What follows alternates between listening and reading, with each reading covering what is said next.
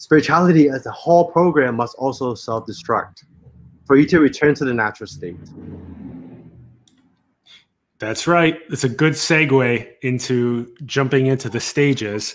That is, as Frank just described to you, in these short stages, that is this fifth stage, transcending the entire paradigm of spirituality itself, that very natty state, the natural state. So we'll go ahead and pull up towards this long definition of the stages first and a brief entry into that. We're just going to mention that each stage has three levels there's the more intellectual, there's the experiential, and the realized. And it's important to be sincere and honest with which level you are at with each stage.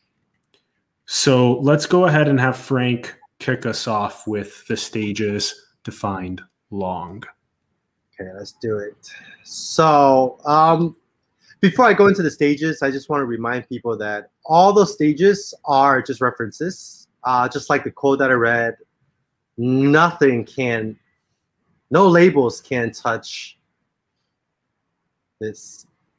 Um, but during the path, it's very valuable to have stages. It, I mean, it helped myself and a lot of other people. And if you look at a lot of different research about the different stages of waking that actual people go through, like of Jeffrey Martin, or even the Theravada four path model, or the, the models that are, you know, uh, advocated by people like Daniel Ingram or whatever tradition that you're in, there's always going to be some kind of stages in there, except for the really radical non-dual teachers. But usually people do go through different stages of unfoldment. And uh, the stage what we're going to talk about, if you really want to match it, you can match it to any school, any tradition, and it will make sense. Uh, Stage number one is ego state, stage of separation. Basically, you're identifying yourself with this character inside the meatsuit. Your sense of identity, your sense of self is behind the eyes, inside the head, or somewhere in the meatsuit. You're contracted.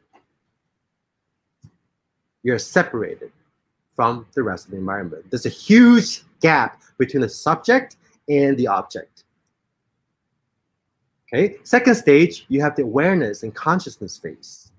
This is where I would say 95% of mainstream spiritual teachers talk about. They tell you to abide in awareness. They tell you that your true self is awareness or abide in consciousness or witness, observer, whatever.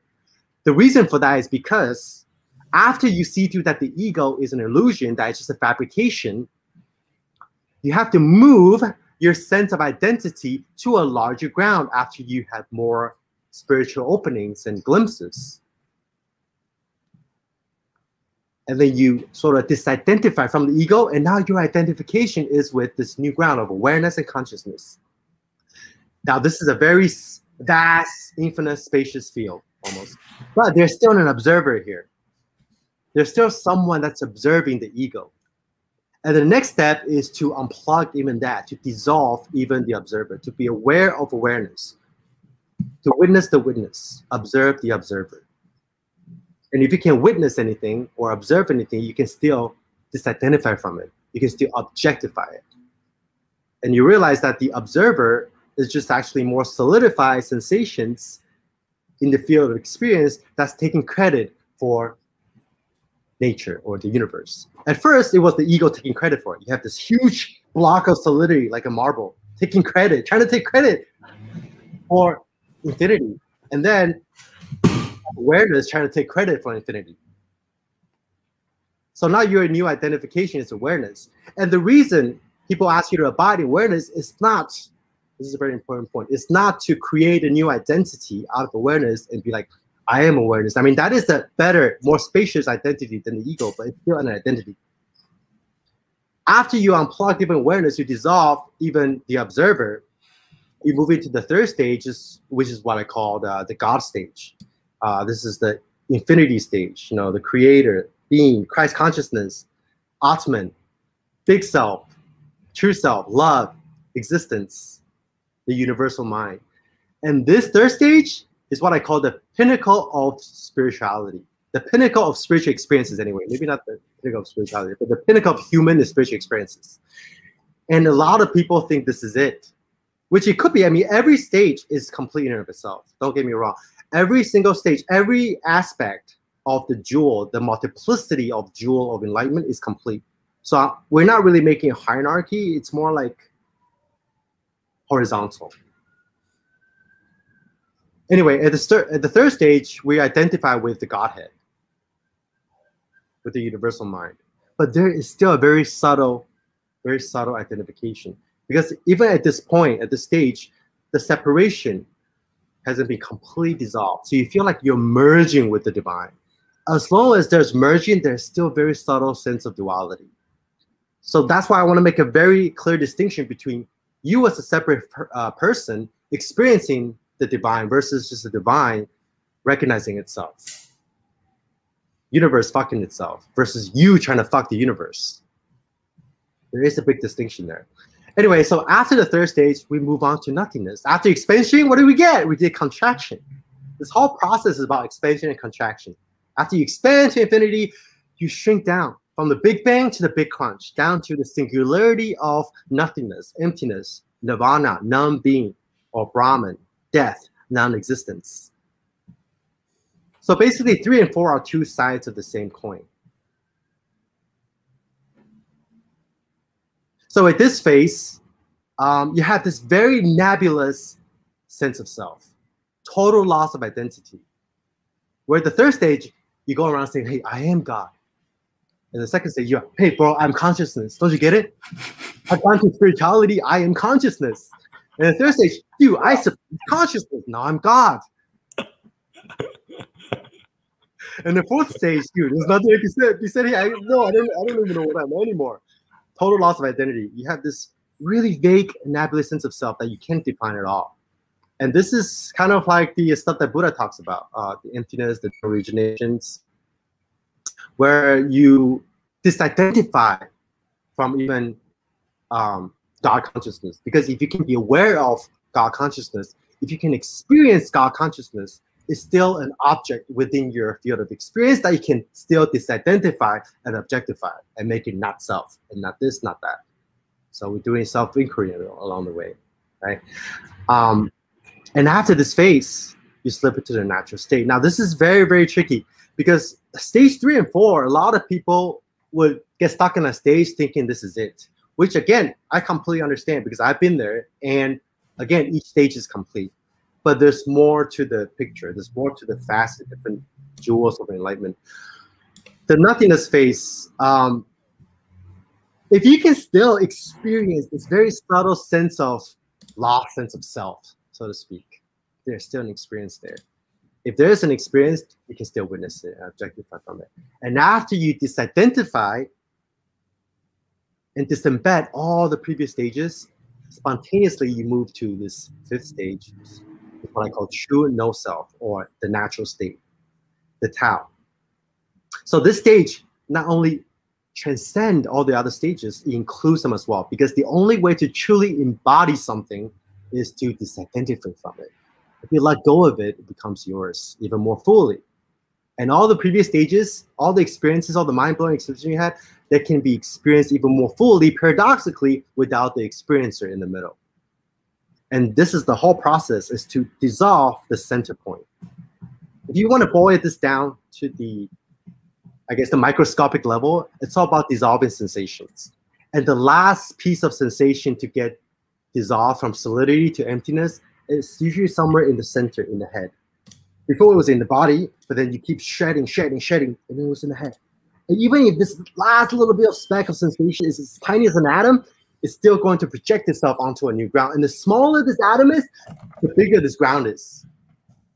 And to get to a natural state, you have to dissolve not just the ego, but the background as well. The background that gets created from the separated state and say, oh, even though my identity is this tiny little thing here that I can't even find in the middle of my experience, that's still gonna kind of hang on to some sort of a ground, some sort of a source, like Brahman or like Godhead. And very subtly, you're still gonna think, hey, I am Brahman or I am Godhead versus just the Godhead. This is why Adyashanti um, said that, um, not, not Adyashanti, we'll get to Adyashanti later, but this is what I said. if realizing true self of no self is like perceiving the world without the eyeball. Because the eyeball can't see itself, but it can see everything else. So if you really truly recognize no self, you're not going to be able to experience or even see the no self. If you still have this sense of, oh, I'm looking for the self, but I can't find it. Oh, it's infinite. That's still not true no self. There's true no self. There's nothing you can say about it. But the eyeball, that nothing can be said about, can see things. And the manifestation of this, what it sees, you can describe, and there's infinite uh, levels to the manifestation. Um, if that's finding out your true self, uh, an eyeball that can't see itself, another analogy that's similar is a mirror versus no mirror. First, you have a source. You perceive the world as phenomena is arising and passing out of a mirror. The mirror could be any ground that you encounter in the path. It could be consciousness or awareness or the God mind. But after you truly dissolve separation, if the ego is gone, so is the so is the mirror, so is the source, so is the ground. So you have to deconstruct even the background. You have to do self-inquiry with the self, the small self, the ego, and then you have to do self-inquiry with the big self. You have to do self-inquiry with the God mind. But to do that, you first have to access the God mind. You have to access and identify with something before you can disidentify from it. So all this, that's why all these different paths have to be sort of go through. You go through each one of them, and then you disidentify from them. But by disidentifying from them, you actually disappear into them. And if you disappear into them, you actually manifest them even more fully. So they're only reflections, but no mirror at the end. There's only manifestation. There's no unmanifested. There's no source, no background. The unmanifested is just something that you imagine. Because how can there be something that's unmanifested if it's non-duality? If this is one thing, right? There's only the manifested. There's no mirror. That's the answer to the Zen koan. What is the sound of one hand clapping? That's that. That's the answer to that koan. there's actually a koan. There's actually this Zen master, or maybe I think he was reading some uh, some poem or some koan that his student wrote. And first, his student was writing about, oh man, the mind is like a mirror. I have to shine the mirror, and everything is just coming in and out of this Buddha mind, this natural mind. But then after that, he realizes, wait a second, this mirror, this Buddha mind is also just a construction. And then he said, there's no mirror. is that fucked up? okay, that was a little. Thank you. There we go. Thank you. A little presentation. Okay, before before we go on, I just want to say one more thing. If you mm-hmm. find the stage the stage is very complicated, just remember one thing. This whole spiritual path is about one thing. The solution of the conditions that makes up the separate self. The more you dissolve, the more glimpses of reality, which is formless, gets opened up. And all this mystical experience that you experience are just a byproduct of because realization itself is not an experience. And the separate self both disappear. Without the subject, there won't be an object. Even the object that is God consciousness eventually dissolves. And there's just this the absolute normie. now you're free to put on different lenses of perception as you see fit. Yeah, so basically the entire spiritual path, if you find this whole map too complex, just remember that the whole process is the solution of the separate self in its condition. That's it. The more you dissolve, the bigger opening you're gonna get. That's why the stages of awareness and God and nothingness, whatever, right? Um, so if the separation is completely dissolved, when the subject in the center is completely vanished, so is the background. The background is also gonna vanish. So it's not like there's really ultimately no difference between ego, awareness, infinity, and it's all the same. They're just different with configuration and solidity of sensations, which we're going to talk about in a bit what sensations are. But perfect.